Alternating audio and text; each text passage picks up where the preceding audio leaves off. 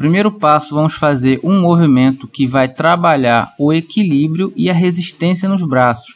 Nós vamos fazer um movimento simples. Vamos entrar como se fosse bater um beija-flor, mas não vamos bater um beija-flor. Vamos encolher as pernas. A posição do quadril é semelhante ao beija-flor. Vamos dar impulso suficiente para passar. Aí você troca a mão e deixa o corpo passar para o outro lado também com a perna encolhida. Tá? Você vai jogar impulso demais, encolheu, troca e joga para o outro. É importante você tentar trabalhar a posição do quadril, porque é daí que você vai ter a ideia de onde você vai encaixar para poder fazer os movimentos futuros, tá bom? Aí você vai fazer meio segundo de parada na primeira mão e na segunda mão apenas para ter ideia. Esse passo agora é uma evolução do passo anterior. Vamos fazer o mesmo movimento, porém a diferença vai ser que as pernas vão estar separadas e esticadas.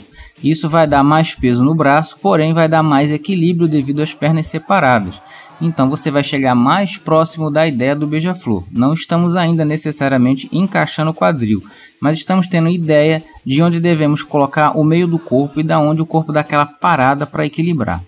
Aí eu vou entrar com a perna direita no meu caso e aí levanto a perna esquerda. E aí quando eu chegar no meio eu troco e quando eu trocar eu deixo uma mão de lado e vou caindo devagar. Eu faço força para equilibrar. Isso é muito importante. Agora no passo 3 vamos utilizar uma cadeira para nos auxiliar no equilíbrio. Vamos tentar fazer agora aquela base do beija-flor encolhido só para acertar o centro do quadril. Lembrando que a perna de baixo tem que estar em linha reta com as duas pernas para cima. Se você conseguir acertar isso, você vai equilibrar bem. A cadeira serve para não deixar você passar direto, como fizemos no exercício anterior, passando direto né? Só que aí você vai usar a cadeira para evitar que você passe. Então não jogue muito impulso e vai tentando. Faça umas três vezes, descansa, faz mais três vezes, descansa. Eu estou fazendo aí para os dois lados para vocês terem ideia de como é fazer para os dois lados, né? Caso eu faça para um lado e você para o outro. Então você vai apoiar a mão de baixo esticada, a mão de cima está levemente flexionada. Ela só serve de apoio mesmo para você não passar direto ou para você não cair para as costas, tá? A mão de baixo é que vai segurar todo o peso e você vai tentar encolher, tentando trazer os joelhos na direção do ombro da frente, como se fosse um beija-flor mesmo.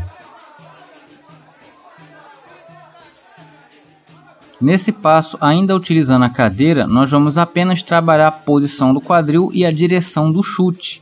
Você vai colocar uma mão embaixo, aí no meu caso estou com a direita, na base embaixo e a esquerda de apoio. E aí é que está a ideia. A mão esquerda fica na frente com o cotovelo para cima, né, apontado para cima, e a outra perna vai passar na direção por cima do ombro. Fazendo para o outro lado é a mesma ideia, você só vai inverter as mãos. A esquerda vai para o chão, a direita vem para cima. Lembre-se que a perna que bate é a mesma da mão que está em cima, tá bom? E você tem que bater por trás do ombro, não bata para frente. Por isso que você tem que estar tá com a mão na cadeira, para você lembrar desse detalhe.